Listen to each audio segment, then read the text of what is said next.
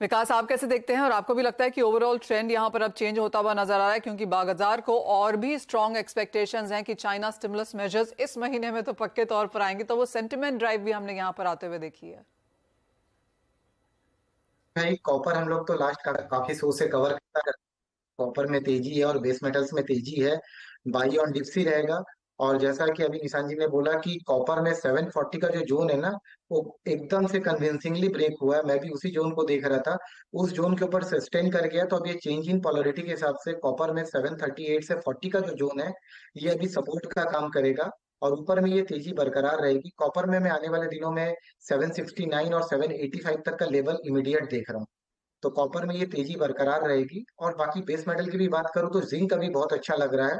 ये two twenty nine two thirty one तक zinc अभी इमीडिएट बेसिस पे जाता लग रहा है। विकास एक चांदी पर आपसे क्यों लेना चाहेंगे? क्योंकि अगर जुलाई का महीना देखें तो चांदी हमने आउट परफॉर्म करते हुए देखी है। अगर सोने में दो सवा दो परसेंट के गेंस जुलाई में देखने को मिले चांदी में सात साढ़े सात परसेंट की तेज़ी यहाँ पर रही। आउट परफॉर्म किया है गोल्ड को। जैसे पिछले बार गोल्ड चला था तो चांदी रुका हुआ था बट इस बार चांदी ने आउट परफॉर्म किया और ये तेज़ी अभी चांदी में बरकरार रहेगी। थोड़ा सा टेक्निकल चार्ट्स में इसका जो सपोर्ट जोन है वो शिफ्ट होता नज़र आ रहा है। सपोर्ट जोन नीचे से शिफ्ट होकर अभी 73,800 74,000 पे शिफ्ट हो गया है।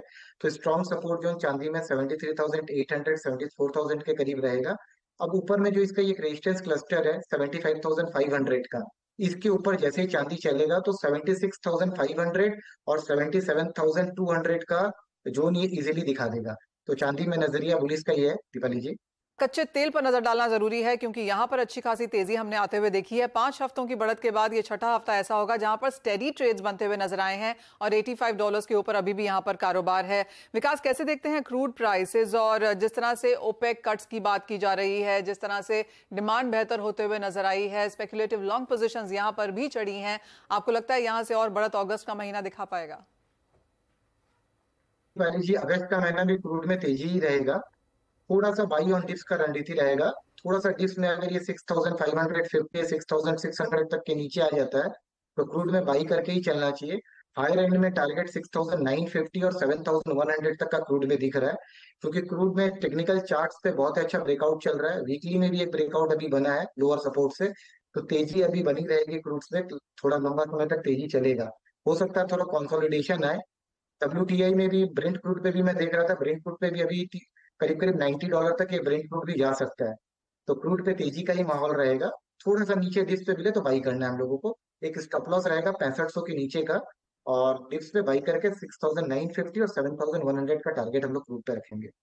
फटाफट से डॉलर इंडेक्स पे भी राय ले लेते हैं विकास के। विकास, क्या व्यू है आपका लगातार? हालाँकि दूसरा महीना है जब हमने डॉलर इंडेक्स में थोड़ी सी नरमी देखी है। क्या रेंज आप देखते हैं नियर टर्म में और क्या व्यू है?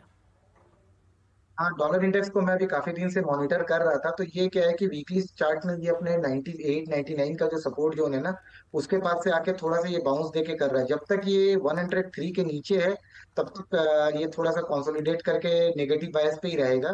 बट 101 के ऊपर में भी ये थोड़ा सा अब चिंता कर रहा है कि ऊपर की तरफ़ जाने की कोशिश कर रहा है।